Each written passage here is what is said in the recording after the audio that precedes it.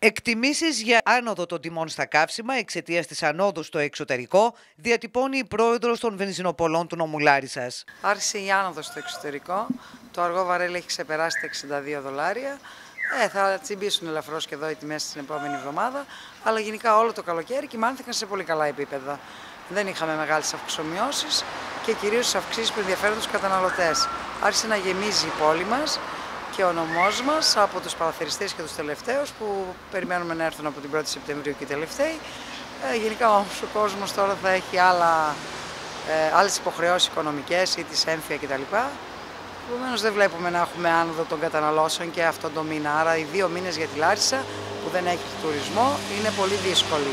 Η πρόεδρος των Βενζινοπολών Λάρισα ζητάει από τη νέα κυβέρνηση να ενσκύψει στα προβλήματα του κλάδου. Περιμένουμε να δούμε τι θα κάνει η νέα κυβέρνηση και πώς θα μας αντιμετωπίσουν οι, οι υπουργοί στα κατατόπους υπουργεία.